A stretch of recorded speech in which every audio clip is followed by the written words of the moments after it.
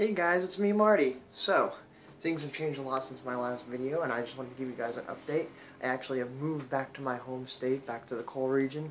So, things are going to get a little different. I don't have the computer I can edit on and I don't have the camera I can use anymore. So, I'm going to be just recording on my phone. It'll be raw, you know, unedited stuff. It'll won't have like all the fancy annotations and maybe it'll be a bit more fun this way, a fun experiment. So, just want to let you guys know that that's what you're going to be looking forward to into the future. And yeah, you'll get to hear a lot of ramblings like that where I forget how to speak for a second.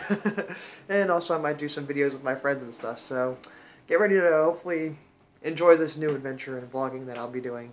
Thanks for watching. Bye.